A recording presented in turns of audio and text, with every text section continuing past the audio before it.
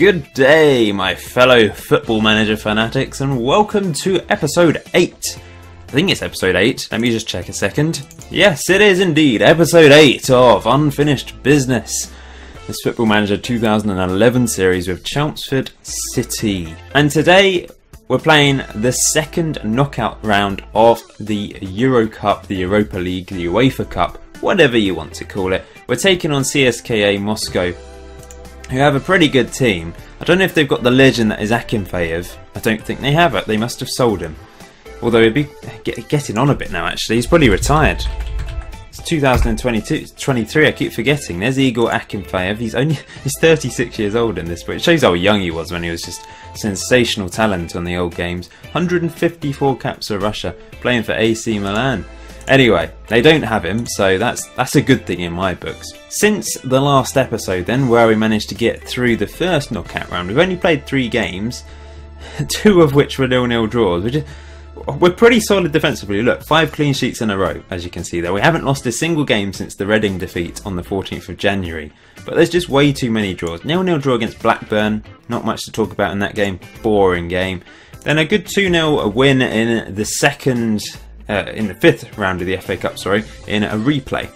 Vincent Grott with the opening goal, and then Facundo Perez, the guy I signed from Real Madrid as a replacement for Bindywold, one of the replacements. I got his first goal for the club, so positive signs, scoring against the Premier League team. Look at this. Good finish actually as well. Brilliant goal from him. So Xhaka, the guy I've got on loan from Atletico Madrid, has scored two goals in the FA Cup and Perez has got one. Not sure who's going to be the better player. Time will tell. We then managed to produce a really good perfor- defensive performance to prevent Chelsea from beating us. Nil-nil draw. They had 27 shots to our five. They weren't great finishing, to be honest. They had a, a lot of chances, and they really should have won. But Johansson put in some good, brilliant saves. We put in some good defensive performances at the back as well. Uh, but it's frustrating because we've, I say that word about 10 times in an episode. Frustrating, but it's true. We've drawn four Premier League games in a row Spurs, Man City, Blackburn, and Chelsea. We need to pick up points if we've got any chance of even getting a European place at all this season because we're now in seventh place, 51 points, one point behind sixth place Fulham. Fifth place guarantees a Euro- European place, it'd be the Euro Cup, of course. Uh, but we are nine points off the fourth place Champions League place, who are Chelsea. I think we're out the Champions League running for this year, which is a shame it really is a shame. Last year, we finished third, 81 points. I know this was five years ago when I played this season, and I've made excuses saying that, you know, I'm not used to the save yet, or back into the swing of things with the save yet. That's not really a good enough excuse in my eyes.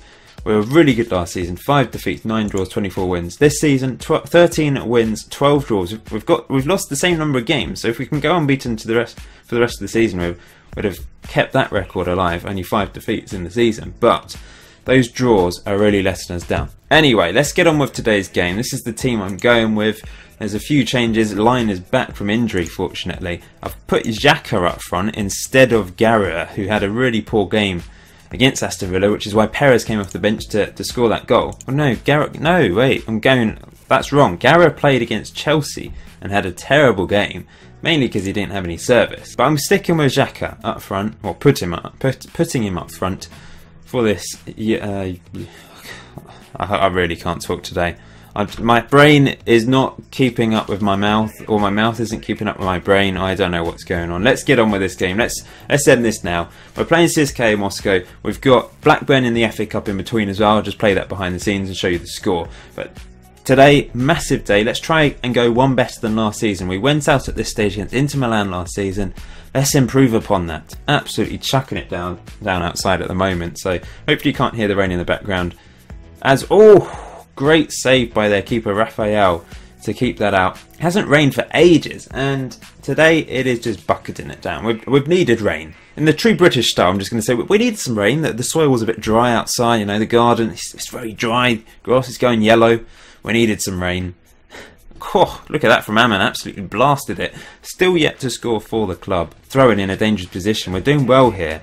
We just have to we have to try and keep a clean sheet at home because an away goal for them could prove dangerous. We really should be winning because we're at home. So let's hope we uh, can put in a good performance. We've had a good start to this game, but failed to score so far. Good tackle by Aman there, but they're still on the ball. Get in there, guys. Win it back.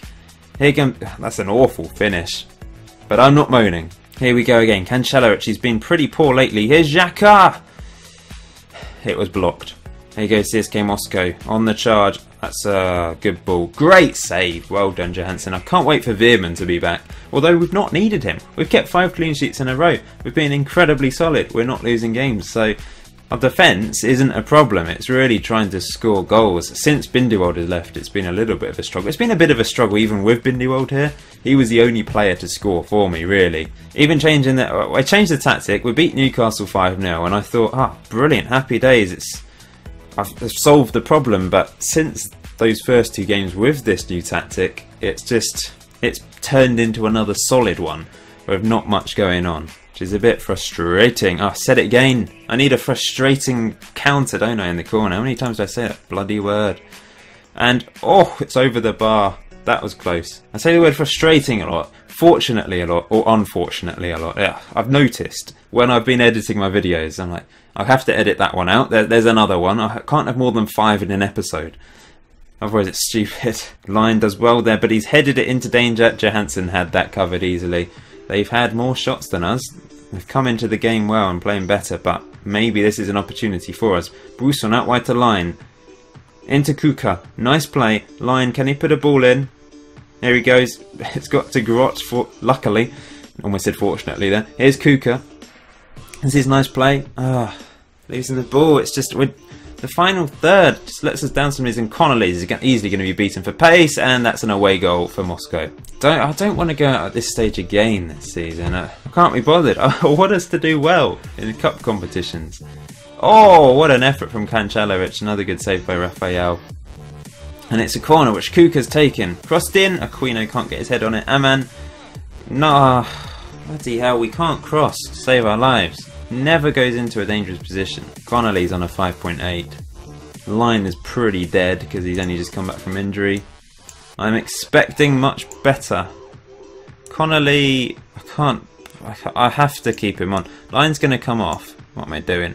Line's going to come off as Spence. And I've realised Spencer's left-footed on this game. I swear he was right-footed. I think on FM12 he was right-footed, and on FM11 he's left-footed. So I'm playing a left footer at right back. He can play there, but he's done brilliantly there, to be honest. Let's change the tactics. We're going to push the defence up. We're going to go quick, fluid. Let's add some something else to our game. We need to improve. We need to get a couple goals. We need to win this game now that we've conceded an away goal. Here we are. Grot into Cunningham. Into Buson. Nice play. Going all the way, blasting it wide. Corner. Kuka. Near post. Aquino. It just hits him. Head it in. Why have you just let it hit you on the arm? Here's Kuka. Spence over the bar. Why? Why can't I win a stupid game? I just everything's a draw. Kuka crosses it in. Ah, well, penalty! Oh, please stick this in the back of the net. Whoever's taking it, please. We missed a penalty actually recently. It was uh, Rados who's got like 17 or 18 on penalties and he missed it. Kanchelaric, come on, my son, please, my friend. Goal! Beautiful penalty, bottom left hand corner. 1 1. Now let's push on from here and win the game. We've been the better team in this second half. Oh, good tackle there by Cunningham. Now Xhaka, what can he do? I might bring Garou on in a bit. Add some pace up front. Oh, look at him go. He went quite far and then played all the way back to Bruson. But sensible play, I guess. Keeping hold of possession. Here's Aman. Spence. Back to Bruson. Kuka.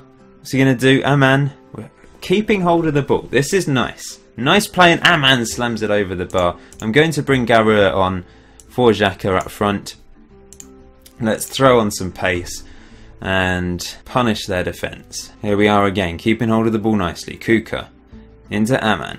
Into Garou, but he's tackled and now they can counter. Get back guys, win the ball back, pressurise them, hassle them.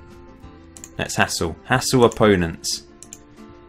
And that's wide. This could be a disaster. Oh, what a save by Johansen. He just, I think he got his wrong arm to it, like the, the arm you wouldn't expect him to get to it. It was a fantastic stop. Great head away by Aman. Now, Garou, run with your pace. Come on, my French maestro. It's, oh, lovely. Skips inside. He's, oh, it's blocked. It's blocked. Yeah, he did brilliantly up to that point. He's really not that much worse than Binderwald on paper. He can do it for me. I know he can be my main man. Aquino, that was a chance. Heads over the bar. Ah, okay, last last sub. Can't take Cunningham off because I don't actually have anyone to go there. I'm going to take off Kuka. I'm going to bring on Alon Rados. He, we might get a free kick in a dangerous position and he's the perfect man to come on and take it. He's not been as predominant since I've taken away the attacking midfielder on this tactic, or the two attacking midfielders in fact, as it was a Christmas tree formation, so he's only really playing when he comes on in central midfield. He prefers attacking midfield. Let's see what he can do though. Rados with the corner, near post, Aquino off the line. Still attacking, still aiming for a second goal to take a victory to Moscow. Here's Kancellaric crossing it in. Grot, that was a chance. Oh, Grot. That was Grotty to the extreme. Rados, there's still a chance here, but Spence ball in was dangerous, but there was no one in the right place. Cunningham, and that's easily caught by Raphael. Oh no, here go, here goes Bakambu again, who's dangerous. It's a good stop by Johansson again. Luckily, it was perfect height for him to save it. And with two minutes of injury time left, can we counter and get a winner? Rados plays it through. Grot! Oh, what a save. Maybe should have taken another touch considering he was past the last defender. But he maybe didn't know that. And. Uh, oh, free kick! Rados! Come on, Rados, please! With 30 seconds to go, curl this in. What? no. It was a really strange one because it, it looked really pathetic. Then I realised it's only just gone wide of the post. So he was trying to sort of just almost pass it in. It was a really odd free kick, and I, was actually closer to the goal than I thought it would be originally because it just like a little dinky, pathetic thing. Anyway, I'm going to sympathise with the team because we were much better in the second half. 20 shots to their 13, 57% possession. We deserved to win it in the end after a bit of a shaky first half. Their goalkeeper was man of the match, and ugh, unlucky. Let's hope we can win away from home. We need to get a goal at least. Guess what? We drew against Blackburn Rovers in the FA Cup.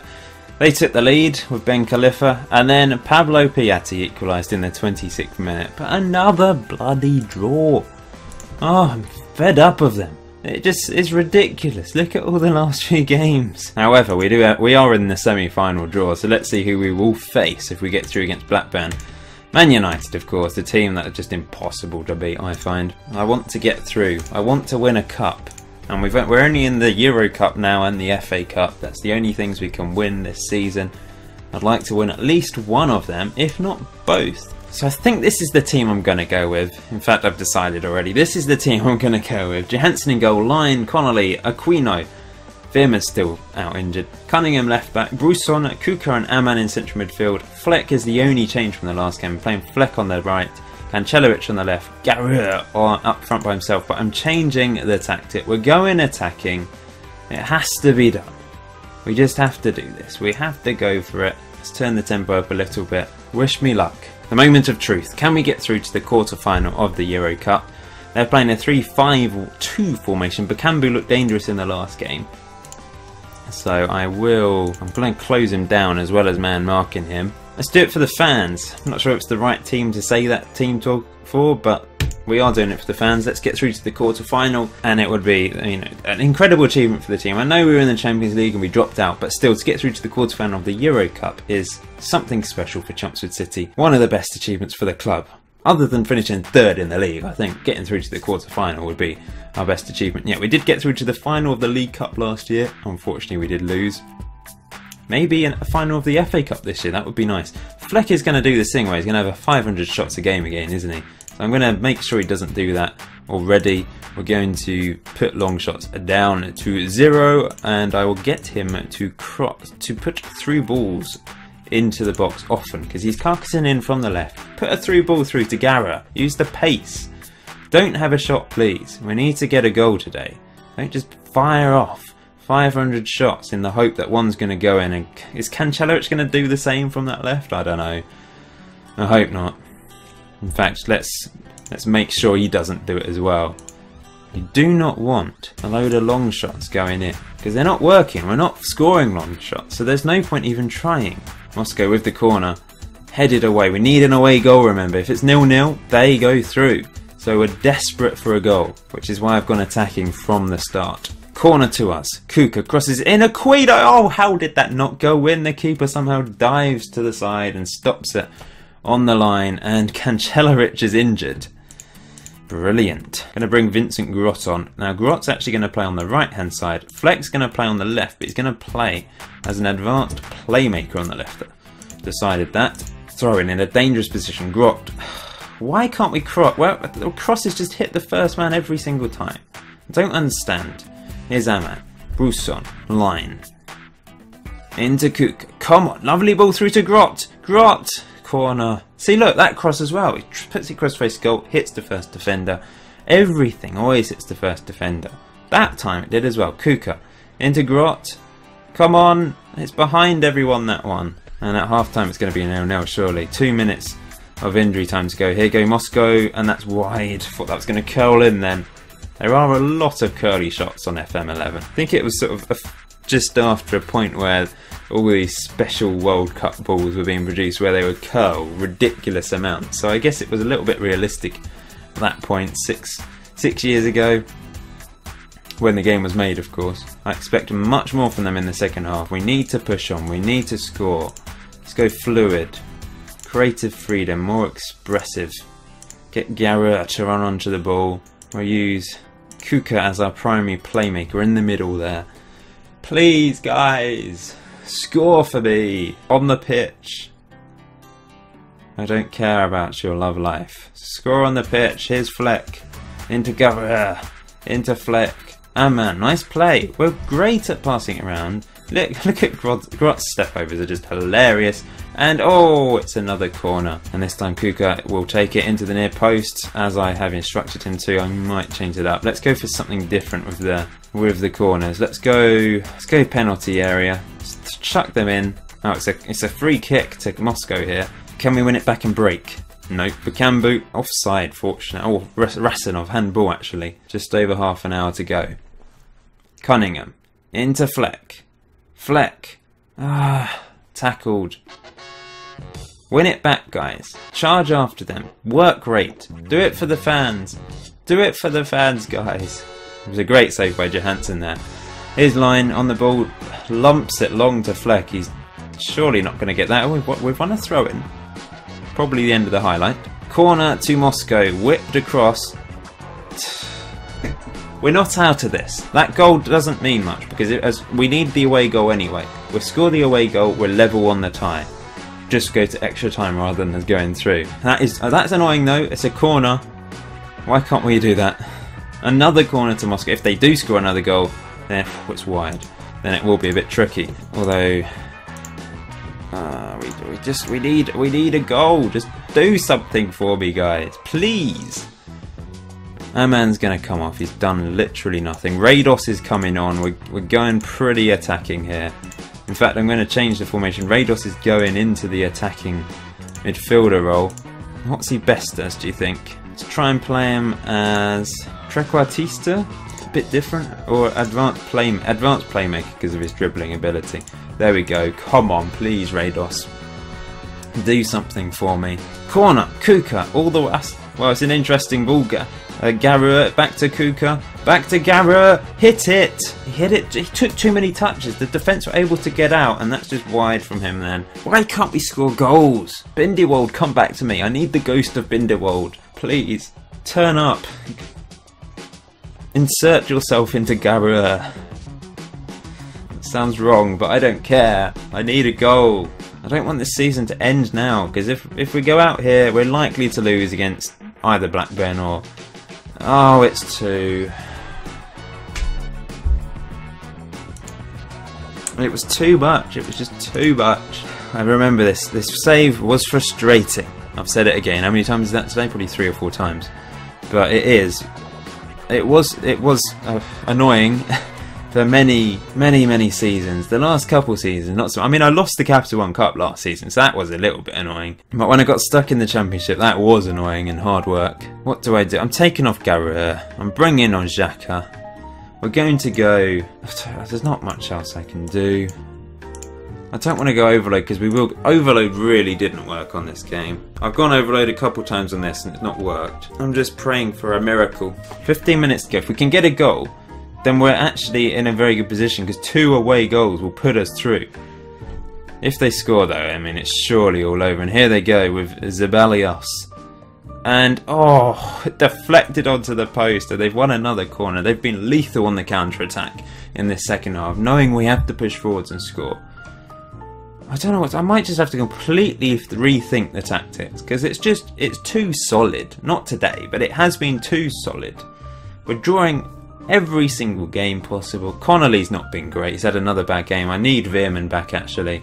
I know we've been keeping clean sheets, but Connolly hasn't been brilliant. And here goes Bakambu again on the counter as we're pushing forwards and it's well wide and over. And to be honest, I'm going to have to go overload now. And we're going to pump the ball into the box get stuck in, hassle opponents, just everything possible. Corner, is there hope? Why is he putting it all the way back to the edge of the area? I said penalty box. Is that what it means, penalty box? Ed edge of the area. Great, I didn't realise. I thought I just meant put it onto like into the penalty box, but uh, it must be an edge of the area, which is why it's not really working. And now they're going to make it three. Oh, it's just over the bar. Let's let's quickly change that then. So we want it, and I put penalty area, not bloody edge of the area. Six yard box. There we go. Get it into the danger area if we can win a corner. But I think we're out of Europe. We flopped in the Champions League. We were close, but not close enough in the Champions League. So, I mean, at one point we were qualifying. And then we've dropped down into the Europa League, but CSKA Moscow, they're often in the Champions League, especially on FM11. They're a very strong outfit and they've just been too much for us across the two legs. We were better in the second half of the first leg, but we couldn't get another goal to take a lead here, and it's resulted in them being able to counter attack against us at home. And it's just been too much, and we're out of Europe. There we go, final whistle. It's official. I'm going to say I'm disappointed, because I am. We just there just wasn't enough to us up front, especially and we are out for the second time, second season in a row at the second knockout stage.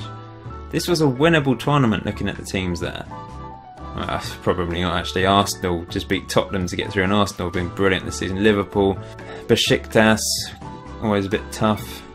I think Arsenal will probably go on and win it. Earn some money from Europe this year, so hopefully we'll have a bit more money to spend next year as well, which would be nice. Although we won't have Champions League football. Now we need to focus on actually qualifying for the Euro Cup again next year, because we're in seventh place, which certainly isn't a guarantee. So that's it for today's episode, guys. Thank you for watching. Please hit that like button to cheer me up, because once again, we haven't won today. Two draws, two 1 1 draws, and then a defeat. I need to beat Blackburn in the FA Cup. Next episode, it might be the FA Cup semi final if we can get through against Blackburn. If not, I don't know. It might just be the end of the season. But thanks for watching today's episode. Hit that like button. Please subscribe if you haven't done so already. And I will see you in episode 9.